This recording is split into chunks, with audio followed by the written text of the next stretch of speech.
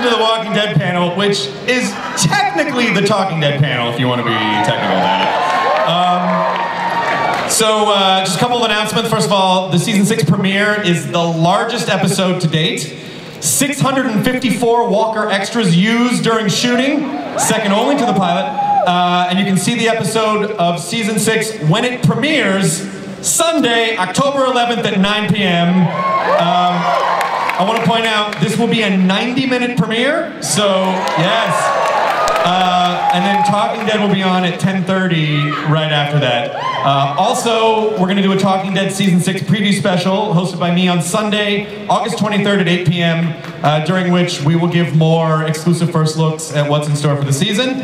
Also, there's going to be, uh, you can catch up on your seasons one through five with five Sundays, five seasons marathon. Each Sunday, AMC will air a single season of the series beginning Sunday, July 26th at 2.30 p.m. So just cancel everything now, don't go anywhere. Uh, to invite people over or board up your doors. Um, and that, that is through Sunday, August 23rd. But um, most importantly, uh, I, I want to thank you guys because without the fans and the fandom, first of all, my show wouldn't exist. You all wouldn't be here. I wouldn't be able to bring these people out here and show this to you. So thank you so much for supporting Walking Dead. Um, we uh, we wanted to change things up a little bit, and so we pulled in a bunch of questions from social to ask. So it's not just me uh, blabbing up here. I will be blabbing with your questions. Uh, so I have some lists of those. But first, I, let's just get into this. Uh, I am very happy to show you the first look at the official trailer for season six.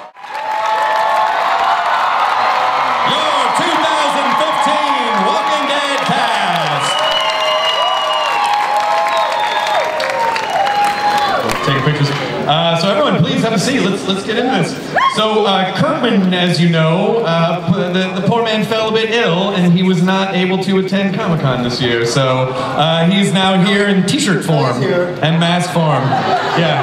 Yes, uh, hand me one of those. Those are Yeah, good. yeah, He's actually here. Any questions that come up? I gotta, I kind of prefer these versions. Can we just take these off? Thank you very much. Everyone have one. We should definitely throw one of these into the audience. Uh, okay, uh, before we get started, right? Yeah. Let's do this. Uh, what, how how big is Hall H? About 7,000. Seven thousand people. Yeah. Now it would be great. Hello, Hall H. Uh, it would be great to have the premiere somewhere that could hold this many people. Right. It would be even better if we could hold it somewhere that would hold twice as many people. Right. It would be thrice better Right. if it could Oh. hold about two and a half amount of this people. Where are you going with this math problem? The Walking Dead premiere is going to Madison Square Garden. Yeah. In October, all these people can, can conceivably come if With they- their friends and family. with friends, family, loved ones, well-wishers. Go to www. That's HHTP. Please do the whole. URL. Yeah. Backslash, backslash. No, forward slash, forward slash. www.amc. Backslash is for local files. AMCTheWalkingDead.com. Come join us in New York in October for the biggest premiere yet. Yes, amazing. Thank you. I think, that section back there is like, shit, we don't live in New York. uh, but you guys, this is amazing. I mean, Madison Square Garden's about 20,000 people, so uh, that's gonna that is the best way. Because even just seeing you guys react to the trailer, and you have to understand most of us watch this on like computer screens, you know. So to see it to see it in a room like this with a screen like this with a crowd of everyone freaking out, it's definitely an experience, and we, we really appreciate it. So I'm gonna I'm gonna launch into fan questions. Uh, Before, before you do that, I just oh, want please. I just want Robert to react to everybody watching it on a computer screen. Okay, sorry. I just want to react. This is I- I Robert reacting to anything. All right, so let's get into this. This is uh, this is from uh, R. Venkat. Will this is for the producers? Will season six explore a power struggle between Rick and Morgan? It kind of seemed like that from the trailer we saw, or or will it more so be portrayed as a fundamental challenge to the way Rick has always been leading the group? Oh my. Um, well, it certainly seemed that we were selling that in the teaser, uh, the trailer rather. I will say that this is a savvy audience that knows that we sometimes play with the truth in trailers. Right. What? It's true. It's true. But it's just to maintain the experience for everybody. I, I would say that uh, Rick absolutely is faced with uh, with challenges to the way he does things, and also including these people in the in the way that he does things. At the end of season six, he wanted everybody on board with him, and everything went very well in those last few moments, up until Well, except for the dickhead that he shot. except for the porch dick. Yeah. I'm so glad that became a thing. Yeah, that's you. No, it's not me. No, really. No, it's Corey. It's not me. No, no, that's you. Oh, no, I said it, but then that, that poor guy has to live with that for the rest of his Now, life. No, Corey Brill is not a porch dick. He just plays one on TV. He did. You know, like a week afterwards, I saw him and he was like, by the way, thanks. People are shouting porch dick at me wherever I go. Very well. He's a really nice guy, too. He's a lovely Which man. made that funnier. Um, but, uh, so you, you're saying that, there, that things might not be as they seem. Things might not be as they seem, but Rick uh, absolutely has to deal with the fact that things went down with Reg and with Pete, and all these people who might have been following him into the bowels of hell are maybe looking at him a little differently. All right, this, uh, this question is from Carrie Frazier. Uh, will we get to see some more flashbacks into character past? I'd like to know more about some of them, like Glenn or Sasha. All right, Dave Alpert, you want to take that one? Do you know? No? Okay. You don't want to say anything? Scott? Uh, could you repeat the question? Uh, we can see more flashbacks. There are other characters, Glenn, Um, Sasha. There's a little bit of flashbackery. There's definitely some playing with time, but uh, not quite as much as last season. Okay. Uh, next question. This is from iDan25. Will the Wolves from season five finale finally play a big part in season six? Uh, the Wolves will be a part of season six, hopefully in a way that you don't expect. All right. Chris, Good, good almost answer. yeah. This one's for Andrew Lincoln. This is Hi. from. Hi, Andy Lincoln. How are you? Can I just say it's so lovely to see you all again. Hello. What are you doing in my front room? You? It's crazy. It feels like I can't believe another year has gone by already, and we're here. It feels like we were just here. Oh no, Like a I week felt every single day. Well, this first question's uh, this first question's uh, a hardball here. Dylan, Dylan Hinchy wants to know: Do you think Rick misses the beard, and do you miss having the beard? Uh, my wife doesn't miss the beard, but um, uh, yeah, I think that was one of the most weird filming days of my life when I had to shave. Well, I had to get in into a shower naked in front of my crew. But you offered, you offered to get in the shower naked. Yeah, but, but then apparently you can only see, two, what is it, two inches of my butt crack. Is that right? Is that a fish? There was there was no crack. no, Charlie Collier, Collier can confirm this. what are we allowed to say? Uh, uh, but yeah, I had to do that, and then I had to shave and look in a mirror. The most painful part was actually looking at my face while shaving, because I don't enjoy that experience anyway. But to do it on camera was just unbearable. Um, but yeah, I miss that beard. Uh, and I'm going to grow it back as soon as possible, Scott Gimple. How much does how much does having that beard become sort of a prop for the character? Like when you have the beard, it does does it inform the way you approach the character as opposed to when you shave off the beard? Well, well, Steven Yeun looked at me when I shaved it off. He said, "You look like you have a shrunken head," which kind of unnerved me for the afternoon filming, really. But uh, it was, it does. It became part of him, you know. And also, I, I remember sort of two seasons before Scott actually talking to me and just saying, "We want to get these guys to the lowest ebb." And I thought, well, the great way of doing that is seeing how big I can, bushy I can grow my beard. nice. It's like just like Scott Gimple right now. yeah, look. I'm look working on it. this is so this is adorable. Oh yeah, that's that's exactly what. You know what?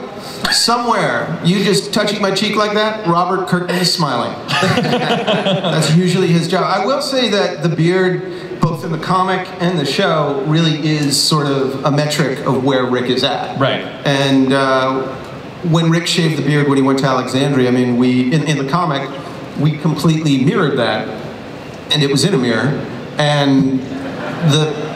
I can't believe people laughed at that. Thank you. I, I. Uh, but I will say that the beard, the beard will continue to inform and sort of indicates a barometer of where Rick is at. Right. Uh, this que- this is this this man's Twitter name uh, at duh fat guy, uh, wants to know his Twitter name, DUH fat guy. Uh, what's the dynamic going to be like between Rick and Deanna this season? Obviously, the last moment was very impactful. So where, where are they at this point that you can say? Rick And Deanna, He's yeah. covered in blood at this point. Right. Um, yeah, I think that there's a there's a genuine respect between the two leaders, between Deanna and, and Rick, and it, a lot of the last sort of three or four episodes, you saw a man restraining his instinct to lead and to show these people, and then as things start to, uh, you know, they they real he realizes that he's amongst innocents and people that don't have any experience of out there. I think you know we got lucky. The the gates were open. You know, we got Walker's. I had a, a zombie shower at the end Yep. when I blew his brains out, and um, and then and then of course, you know, when Pete came in, he uh, slashed his reg, and I and I shot him. Yeah, but that was, it wasn't just that you shot him, that, that was Deanna It was an execution. Acknowledging The- you were, Yeah, you were right. say, do it.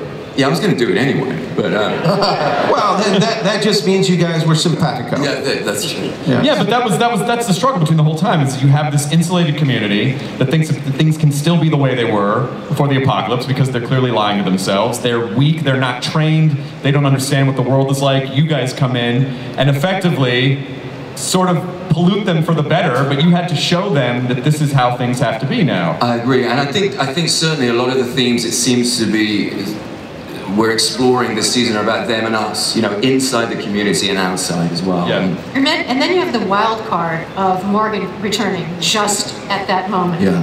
And what he's seeing, a, a very different Rick from the last time. and a different So- Morgan as well. And- And, and Very Morgan, we don't really know at this point. Yeah. We don't really know what he's up to and what, what's going on and how he's been changed. But he's damn good at fighting with that stick. Yeah. this is for Danai. Uh, this is from Aisha Grimes on Instagram. What do you think Michonne's opinion is on Carol's housewife disguise and her lying about stealing guns in Alexandria? Ah, that's an interesting question. I've always yearned for more interaction between Michonne and Carol. I'd share it with 7,000 people and my boss at the same time. Because I just, I adore uh, Carol. I think it's such an interesting thing between these two women. I think their two tactics of how to handle this world is just so, it's so interesting. They, they're both having tactics, but they're, they couldn't be more different. I think she really is just catching up with where Carol is, and she has a profound respect for Carol. So she understands that what Carol's doing is for the good of the group, and it, it's definitely about protection. It's definitely about keeping us, you know, on top and keeping us safe. But it's just not the way that um, Michonne wants to to grapple with things at this moment. She's looking to actually merge community. But she's not going to get, um, you know, into a big tussle with her uh, like she didn't in that scene. She just acknowledged that's where she was at, and she was really getting the landscape of where everyone was. But I mean, I was, um, I would, I'd love to to hear them converse about their different ways of seeing the world. So this is sort of a two-part question. What what do you think Michonne's journey was in the last season, and especially that last thing with her and the katana, like sort of embracing that again? Where do you think she ends up? Yeah, yeah. I mean, it is. It was really fascinating, actually, because she was very. She had made that decision in in season four, where she literally decided, "I'm actually going to stop being this isolated character who like goes off by herself, grabs two pets, and will go and venture into the world and be alone and hang out with walkers for the rest of my life and not be vulnerable to anybody." And making that decision to turn around and say, "I'm going to re-embrace my people, and I'm going to re-embrace whoever I can, and and actually move forward with life." And that's scary, and I have no idea what'll happen, but I'm going to do it. That uh, is kind of where she's been going. She's been consistently kind of going on that track, and so the idea of reconnecting with these people, which was kind of a miracle for her, and really affirmed her choice. But then throughout last season, it was this sort of fear of we were just kind of getting broken down, like you know the terminus people. So that trust was like obliterated, and then it's like going into you know the idea of going into what happened to Bob, and it was just constant, like what happened to the church, like it was just the constant breaking down. And then she started to see people like Glenn start to get broken down, and how his psyche started to shift, and stuff like that. And the idea that we could actually get to the point where things could get like we actually all turn into where she's been was very scary for her. Yeah, it's interesting because it, it, it just shows the importance of this of this group of people because there's always this sort of sine wave of sanity where it's like, oh, uh, Gabriel's not doing so great. Sasha's losing it. Rick's, I'm not sure. Right, right. Okay, Michelle's good. Carol's good. Nah, she just threatened to murder a kid. You know, like, so Right. it, it's sort of like you guys kind of need each other Right, to to really keep the out. balance. I feel like Michonne was a very, she was a very calm presence throughout and almost Right. sort of resigned at the end of like, ah, shit, here we go Well, again. yeah, I mean, it was this crazy thing from like the, the, the moment of actually, you know, saying I'm going to neutralize Rick, which to me was like this really like disturbing moment to play. I was like, oh dang, I gotta punch, I gotta punch Rick. Yeah. You know, but um, you know, strangely, you know, we had a good time with it, right, Andy? but it was such a weird moment to have to do. But it was it was like that breaking apart of saying I think differently from you, and I'm going to do something different from what you do. You did hit me. Oh yeah, well you know that was the best For real. take. Oh, she hit you for real? For real. Oh, that's Oh, great. And then she jumped on me after they, they said cut and just cuddled. I felt bad. That's good acting. What are you talking about? I thought I'd really knocked him out. Uh.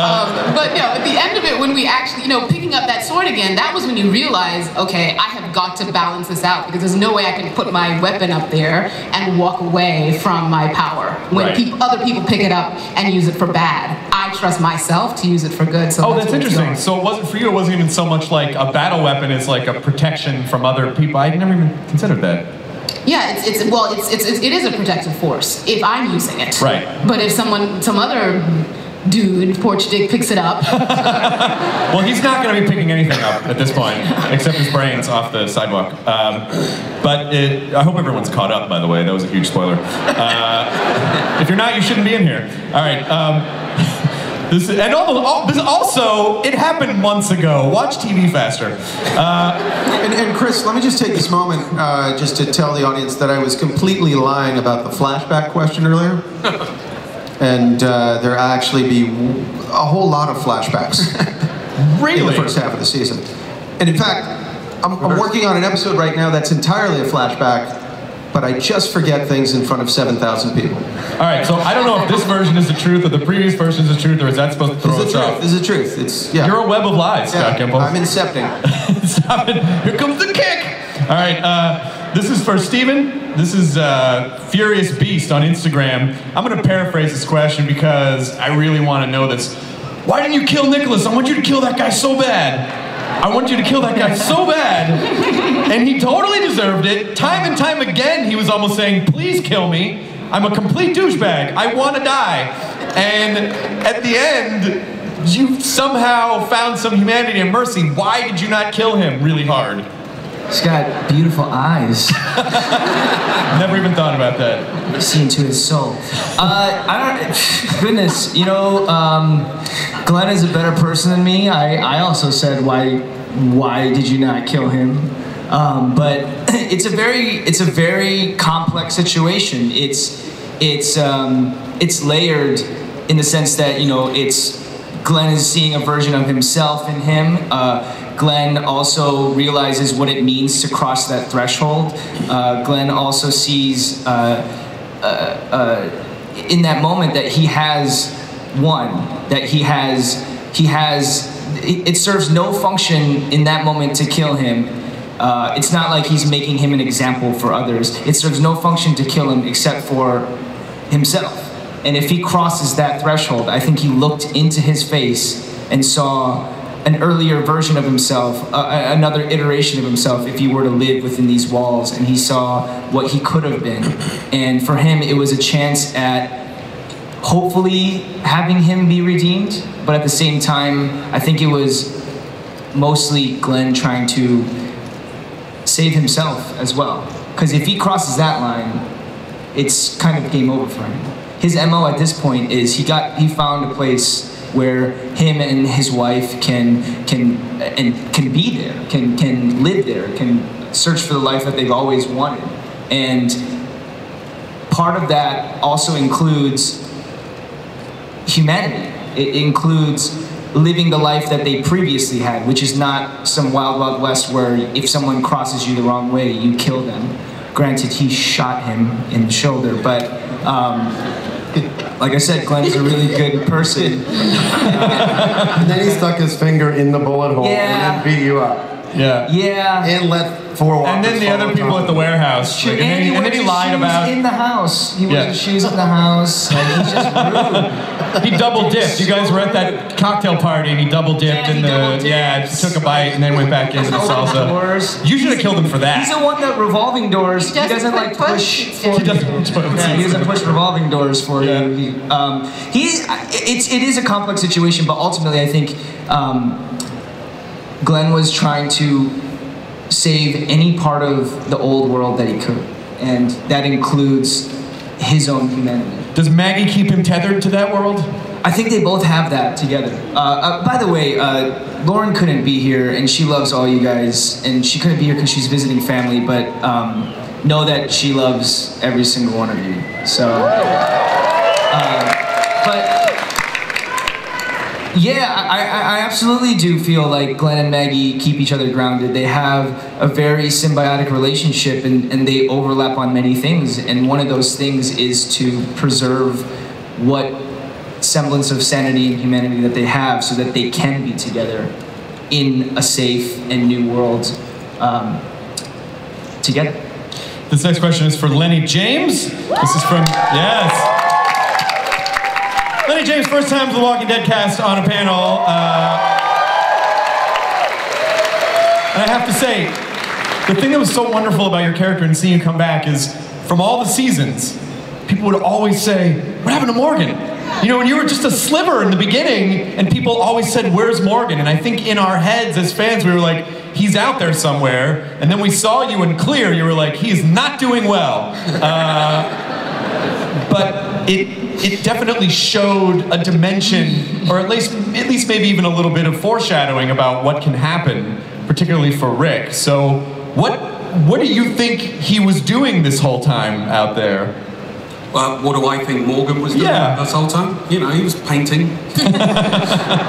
he was getting to know himself.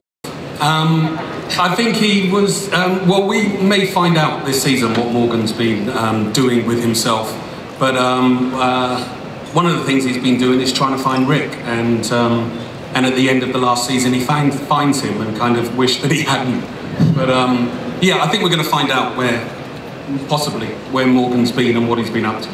This is from uh, Allison Loveland on Facebook. What kind of effect do you think Morgan's presence will have on Rick? Oh, um, I don't know, to be honest. I think um, Morgan and Rick have a particular kind of man love that kind of goes on. And um, Keep going. I think the, the, um, the fact that Morgan has gone to find Rick, I think one of the, I've said it before, but it's one of the things that's most important is Rick is the last person left on the planet that Morgan, that knows Morgan. Everybody else who Morgan knows is gone. And the only man, the only person left that Morgan knows is Rick, and that's why he goes to find him.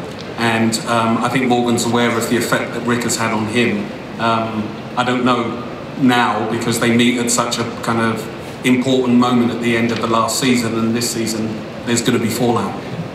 Uh, this next question is for Chandler Riggs. Mr. Chandler Riggs, welcome. Uh, this is from Brandon Reese One on Twitter. Do you think Carl feels at home in Alexandria? Oh, for sure. Yeah, I, I think I think Carl like I, I think he sees Alexandria as a, a restart button, kind of just to try and start over and live the life way the way life life should be lived. You know, that's that's how he sees Alexandria. I love that just that moment with those with the other kids there, where there's there's like video games. You're like, what have you people been doing this whole time? I mean, you have even just in your short time in that world, you're already a soldier basically. So how do you think he's processing? How do you think he was able to process? Like, oh, it's okay to be comfortable again. Well, I mean that's that's what kind of like went into shock when he walked into that room and and it was just like like like it was years ago, you know, back back when the the apocalypse started. And I think for him, you know, first of all, he, he sees their vulnerability, and you know, although Alexandria is a safe place, people still know need to know how to survive in case there is a threat outside the walls. Uh, So he, sees, he sees their vulnerability, and um, sorry. Oh no, go ahead. And, this is about you, not me. You go. and so, um, but but I mean, he, he does he has sympathy for, for the kids living in Alexandria, and he wants to show them how life is outside the walls. This is from uh, at Ash Actually. How do you think Michonne would feel about Carl sneaking out of the gates following Enid? Oh yeah. I don't know. Yeah, who you asking? You, either of you. Actually, I'd love to hear you both tackle that. Okay, you go ahead. Uh, well, well, okay. So I, I think Carl sees Enid as as another survivor. He, he's she's the one person in that place that gets it, that gets how uh, how it is outside the walls. And so you know he, he can obviously relate to her, and so that's why he enjoys going outside the walls and just hanging out with her. But you know, obviously, being outside of Alexandria isn't very safe. Uh, so I, I don't I don't know how they'd react if they knew Carl was running around with Enid in the woods. What do you think? Probably better Michonne doesn't know. Yeah. you know. But I mean, I think there's the thing that Michonne really loves about about uh, Carl is that he has such a survivor instinct and he's so smart and he knows how to take care of himself so well. And so she was always just able to kind of relate to him like like a friend, which I think the idea of him going outside there is like you can't imprison him in, in one sense. Like you can't say you may never leave these walls. I, I think that she would find that to be a disrespectful way of treating him. But at the same time, you know, her her gut, her instinct, her, her wants for him, of course, are to keep him extremely safe at all times. So she wouldn't she probably just doesn't want to know, but she'd want to know at the same time. Well, they're also just teenagers in the and like it doesn't matter. Like if you're a, if you're a teenage boy and there's a teenage girl, even if you're like, oh my god, there's zombies at the gate. If a teenage girl's like, let's go out there, you'd be like, yeah, okay. Like there's no. it's like this whole concept of you're still human beings. Like you're still you still do things that human beings do. Right. Um, this is a really great, just a, a really quick answer for this one, uh, Chandler. Uh, at Hyatt's Laurice wants to know if season five Carl had a chance to tell season one Carl some advice, what would it be? Um, I don't, I don't, I'm, I don't know really. I, I think just, I don't know, cause, cause, I'm not really sure what, what he would tell him. But all Kill, just, kill the walker in the swamp that killed Pam. yeah, shoot, shoot the one and Shoot the one walker that you should have shot. Yeah, yeah. Way to make him feel bad about that. um, all right, this is for Sonequa Martin Green. This is from Twitter. Uh,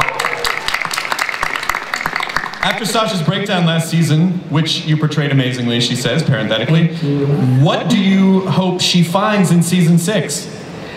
Oh my, healing, restoration. Can she at this point? That's a great question. You know, I mean, she's hit rock bottom.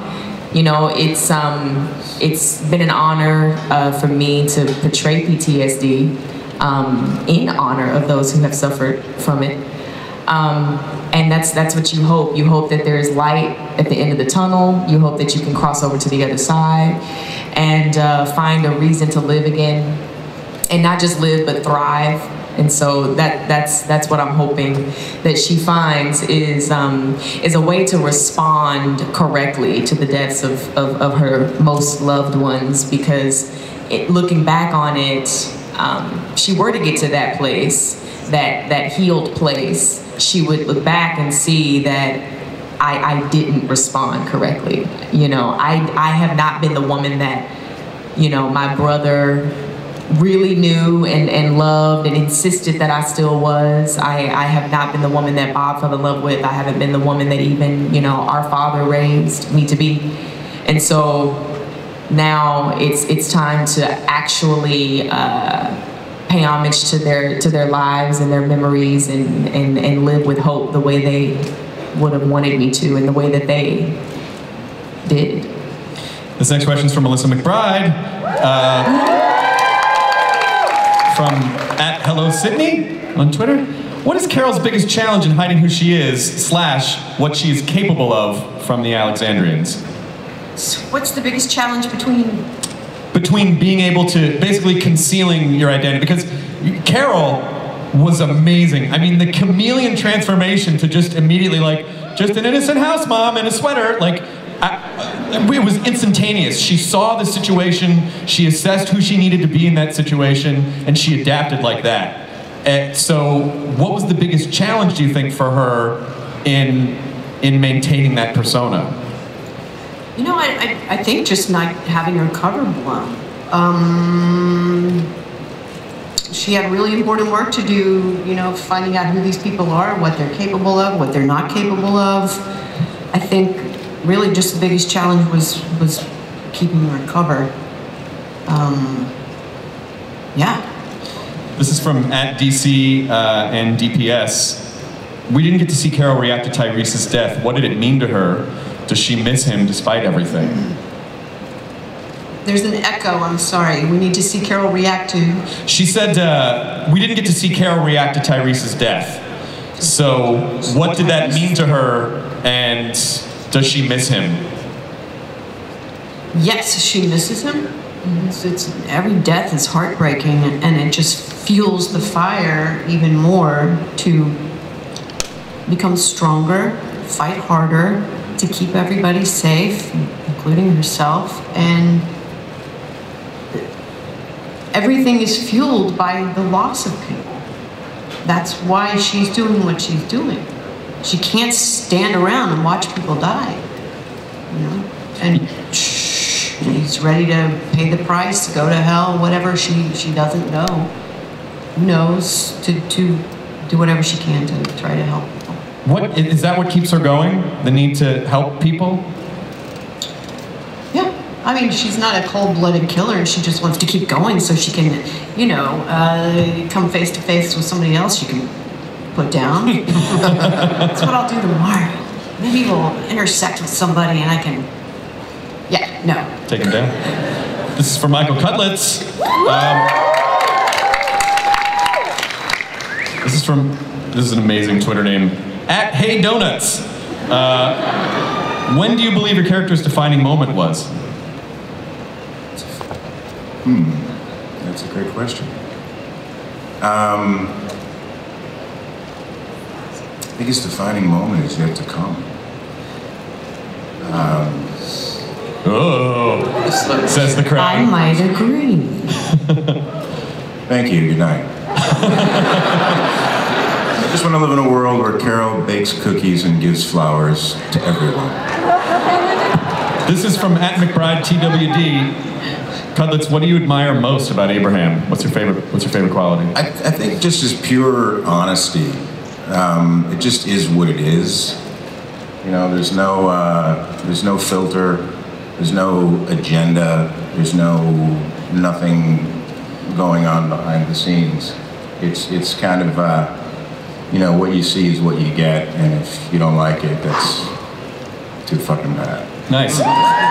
He, he does get the he does get the best written dialogue Yes. on the show for sure. Every time you get the the scripts and you see things that Abraham says, they're always they're always great. The last the line you had in, in 16 was like he doesn't know shit about shit about was one of the, I'm not gonna remember the line because he said it so well. I had it recorded for a while. About sand. It was it was great. It's, he has the, he has the best dialogue.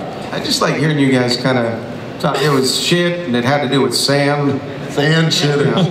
There's a vast ocean of shit Yes. that you people don't know shit about.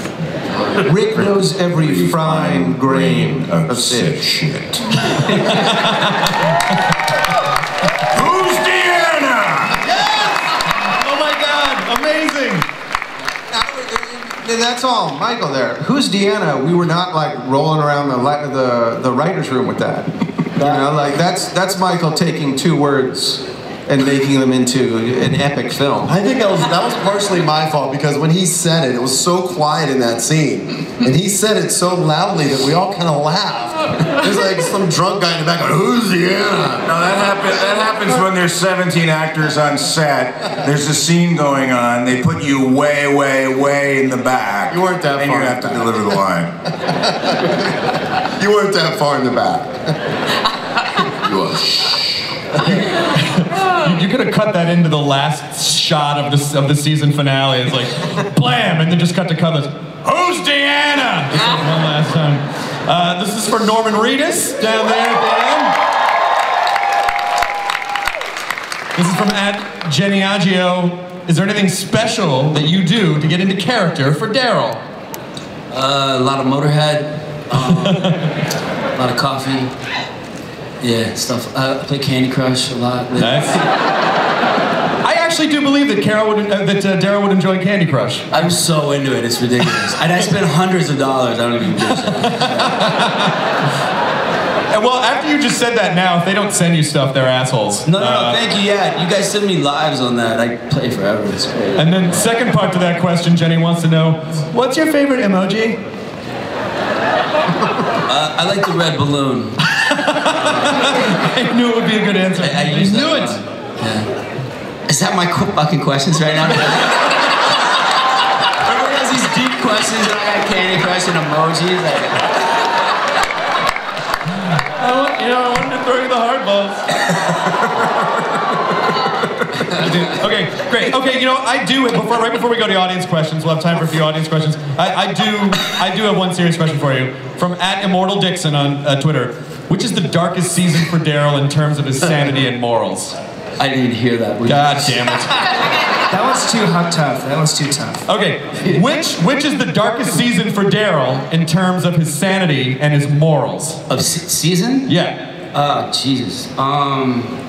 You asked for it. Yeah.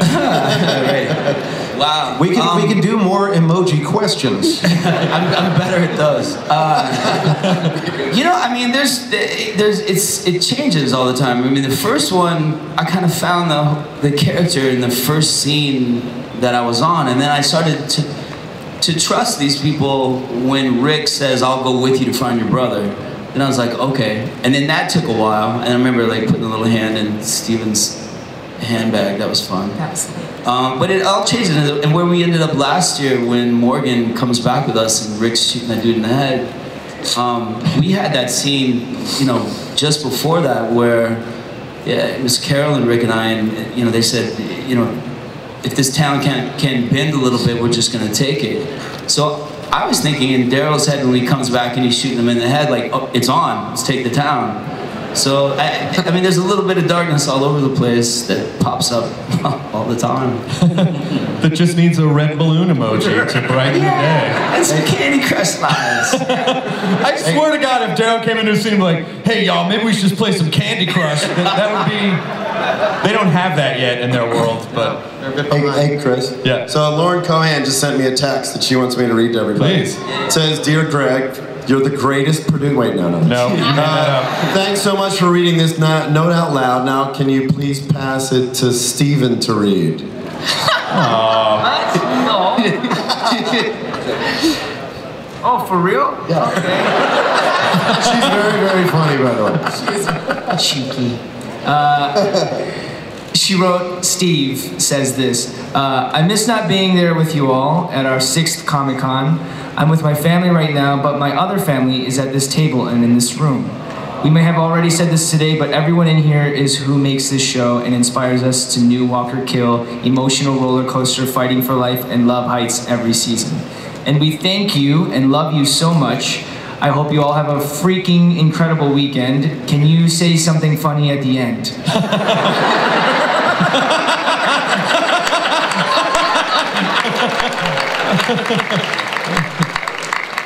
And then, and then it says, "Then please give the phone back to Greg." I didn't read that part. Well, Greg actually did. You actually did bring something to show people that was a little extra, didn't you? I did. Did you bring? No, it? it, well, it, it seems like we're having a blooper right now here, Greg. We are. Yeah, so what could it be that we're having a, a real blooper about? Uh, let me. Oh, maybe there's clips of people that didn't get their lines right or broke character or. What sort of thing?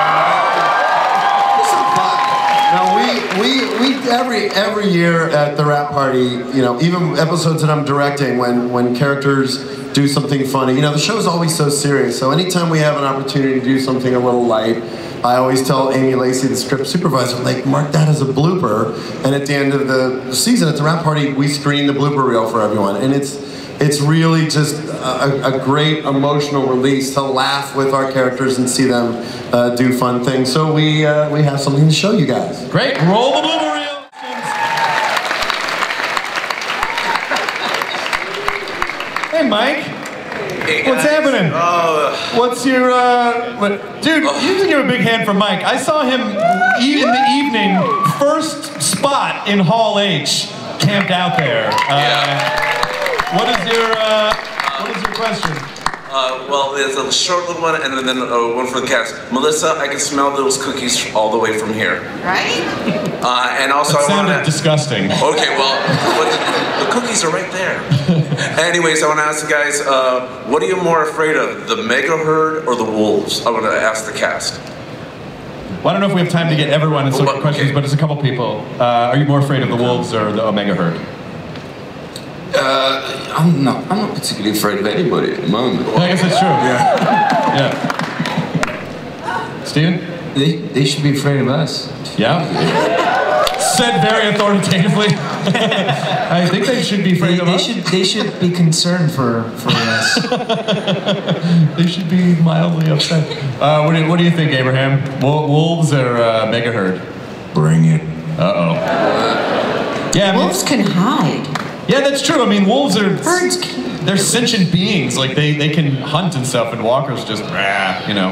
So I would I say think I'm, I'm more concerned with the living than the dead. yeah. Awesome. Hey, good to see you, Mike. I'll see you later on. Uh, what is your name, madam? Um, my name is Bibiana. Um, I just wanted to ask Chandler, what did it feel like being back on set? Did you feel nervous at all or excited? Well, I'm. Uh, I think we're all we were all pretty excited to come to come back on, on the show for the new season. You know, it's um it's great to be back working on the show for most of my life. That's a literal thing. It's uh, it's uh, you know all I've known for a while. But no, it's um it's fun. I, I love this show. Excellent. Thank you. Hey, man, what's your name? Hi, I'm Daniel. I'm a big fan. Um, I wanted to ask, who's going to be the next cast member from The Wire to make an appearance? Who's the next cast member for The Wire who's going to make an appearance? That's a Robert question. Uh, uh, uh, we. yeah. I'll just say uh, we tried for. s- I, am not going to do a Robert impression. Uh, we tried for someone this year and it actually didn't work out. But there was. I, I'd say we, we aren't through with that cast yet. Actually, did you want to Talk about another cast. Did you want to make that Yes, announcement? Yes. Do you want to make this announcement right here? Oh yes, yes. Yeah. So, uh, you know, in addition to uh, Corey Hawkins as Heath, uh, which uh, I don't know if anybody picked up, but we had Ethan Embry, which was, was in the trailer. We're really excited to play the first episode, and uh, we've cast Merritt Wever uh, as a character for the comic, but you'll have to wait to find out who. All right. Excellent. Obviously, Merritt Wever as Negan. Yes, yes, obviously. Uh, yes, ma'am. What is your name? God damn. Um, I didn't mean to startle you. oh, my name is Jillian, um, and I guess this is more directed to um, Andrew and Danai, but I find Rick and Michonne's interactions fascinating, and I wanted to know what is Michonne to Rick at present, because it kind of seems like she's the only one who can check him. So it's just. That is very true. Yeah. My mum, I just want to say that my mum is desperate for Rick and Michonne to get together. She's like, she'll be watching this now and she'll be very happy that I'm saying this, but she goes, when, if you had any political balls, you've got to get those two people together. She gets a bit, uh, she gets quite fired up about it. Uh, but that's not, I'm not campaigning, Scott. No, no. I, and I've received the calls from your mom. But I agree. Yeah, Michonne is a is a fellow warrior. He respects her uh, so much, you know, and they've been through so so much, you know, and he, he trusts her with with his life and with his children's lives. And uh, so I think that yeah, like many of the characters now, there are certain sort of planets. There are five or six that he looks to, um, and he can be checked by, and she is certainly one. I think for Michonne, I mean, she he was actually the person who checked her in the very beginning, um, like in episode clear, and um, even before then, when she just she was kind of buck wild, and uh, she just fought the governor, and he was going to kick her out. That whole moment where she knew she had to change was because he checked her, and that caused an indelible respect that I think just keeps reverberating through their friendship. Excellent. Uh, hey, button lady. Hi, Chris. What's happening? Uh, thanks for naming your horse after me. Um, my question is for Carl Papa.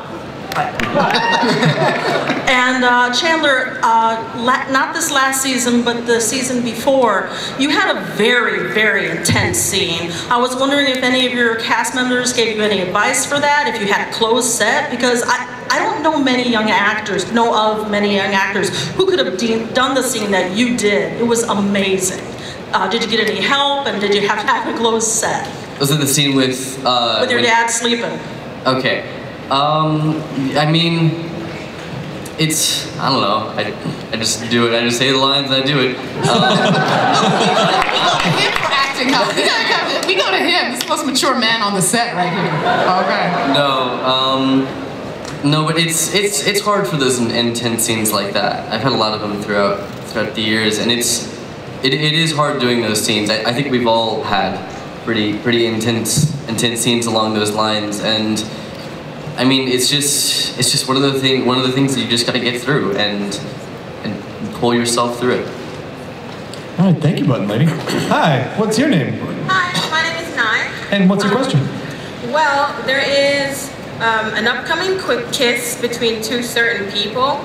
Um, that was a little bit unexpected because everyone is expecting that certain girl to kiss another certain guy.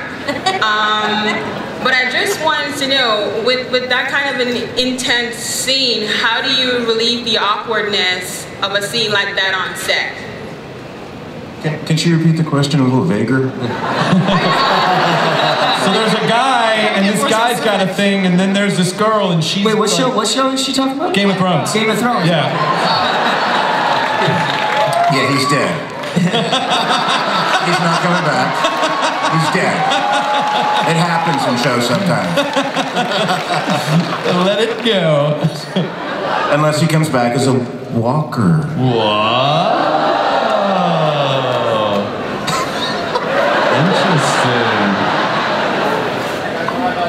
Interesting. Interesting. Are you, so you're asking what's it like to kiss somebody on set and uh, leave that on set?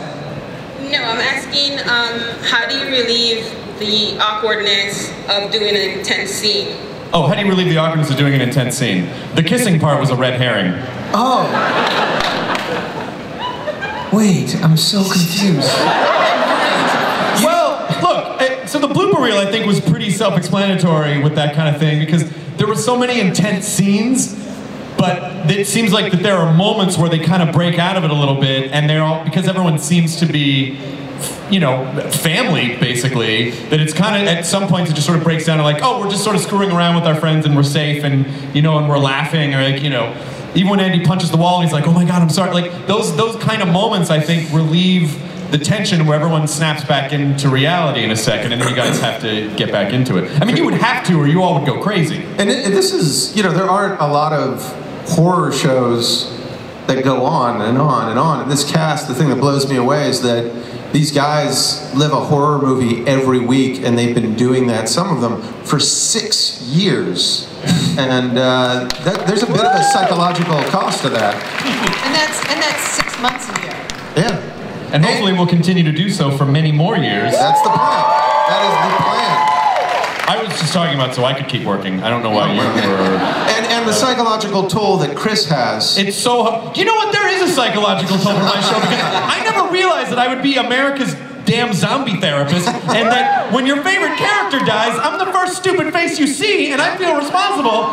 There's like someone will die, and I'm like, uh, shit, I didn't do it. Uh, That's because you tell us. Come on, I mean, what do you got for me? I need some more drama. If I, you're I have to tell dead. everyone that everything's okay. I have like, okay. It is, it is funny, like finishing an edit of something like really heavy, and we go right to the end of the reel, and you just picture Chris like stepping out in the Avid, kind of like saying, "It's gonna be all right." Welcome to Talking Dead. The hashtag is Hershel's Crazy Stump or something, and everyone's like, everyone's like, shut up, you're ruining the show. We have a Daryl. Yo, hey, Daryl. Daryl two. What is your uh, question? Chris, I just want to say that you always do an amazing job. Um, my question is for my hero, Norman Reedus. Uh, oh, thank you, Norman. That makes me feel great.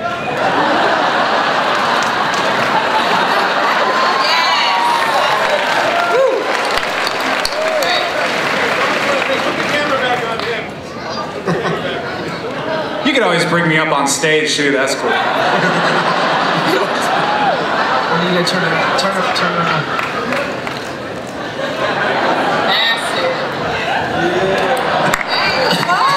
Nice.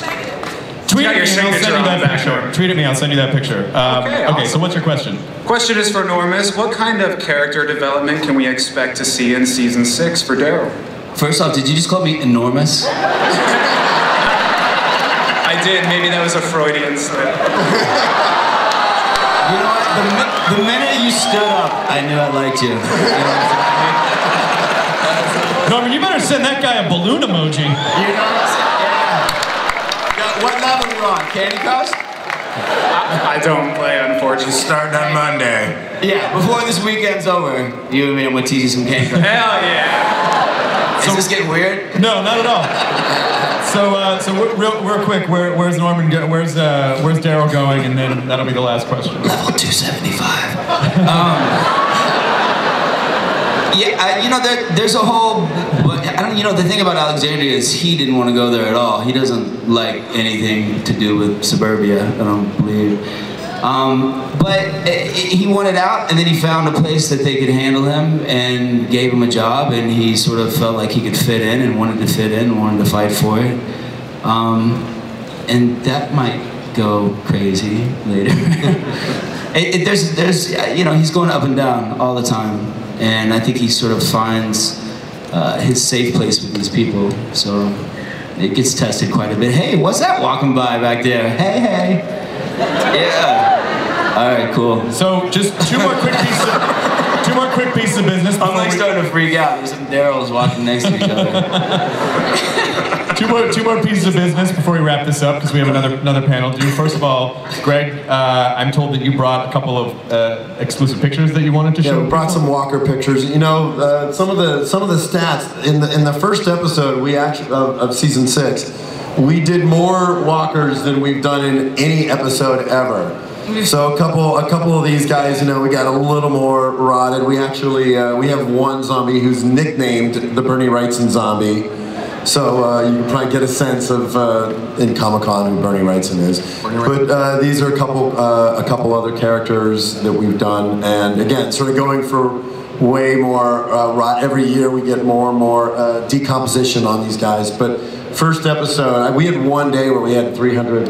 We had 300 walkers. Greg directed the premiere episode coming back, by the way, which is important for you guys to know. Which again is 90 minutes, October 11th. And a lot of people don't realize that the season finale last year was supposed to be a 60 minute episode, but Scott wrote the script. The script was so well written.